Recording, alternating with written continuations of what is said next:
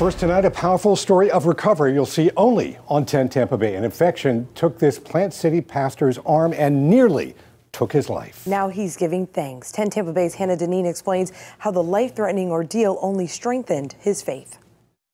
Stepped off a, a step stool and, and uh, fell and hit my elbow. A scratch that would infect Pastor Nathaniel Hilly with a rare, aggressive, flesh eating bacteria. Ended up having to get my arm amputated right from the beginning. They took it right up at the shoulder. And then they just had to keep cutting more. Weeks in the hospital where faith would be leaned on, but never tested.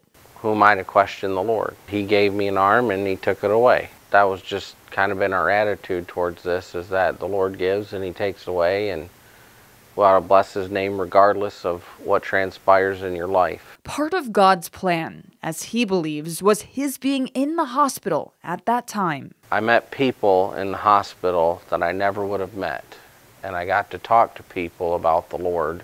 The willingness to believe in a greater plan is not always easy, even for a pastor. It's difficult. It's difficult on my wife. It's difficult on our family. I do miss my right arm. But I trust that the Lord has plans and we just commit ourselves to Him. Now, six months later, Hilly will lead a weekend of special services at the Bible Baptist Church in Plant City, sharing how God got him through his recovery journey. To thank God for all that He's done and to give thanks to Him, to praise His name for all the particulars, just for His mercy and grace and all that He's done for us. Stronger in faith than ever before.